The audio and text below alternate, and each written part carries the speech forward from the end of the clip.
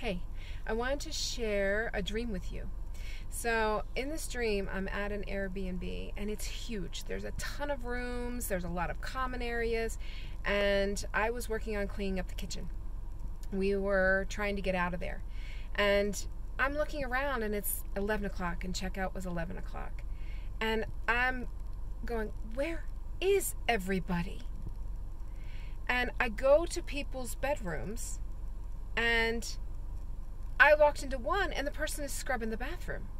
And I'm like, you don't need to do that. I need help in these common areas. Sweeping needs to be done, trash needs to be taken out. Like, the kitchen's done, but I need help.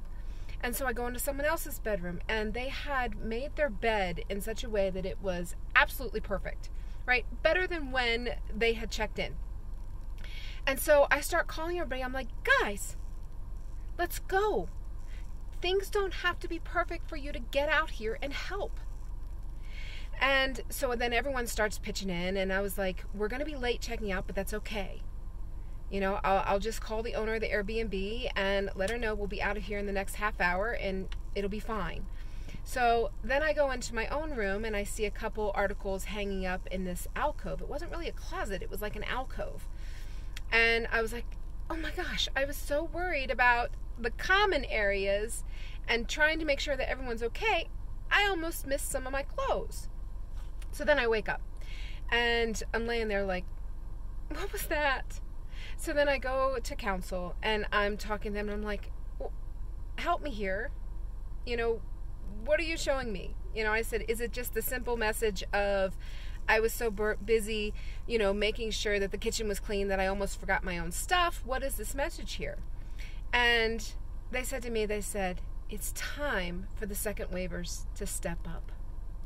It's time for them to start assisting, doing more, creating more, living the life that they want to live, even if it's in increments. So then they said to me, they said, there are so many that are ready, but they they think they have to be perfect perfectly healed, perfectly groomed, look a certain way. They want to make sure everything is just in place. They don't feel trained enough, they don't feel ready enough. And the truth is, bullshit. You're ready. And you know who you are as I'm talking to you. You're ready. Your fears may not be ready. Your inner child may not be ready. But you are ready. Step up, assist. Be who you truly are. You do not have to be perfect. So they said, See, what if you hadn't done any of this work because you still have items hanging in your closet? And they're not wrong. I've got items. You've got items. We all do. So don't let those things stop you. It's time. Find your way.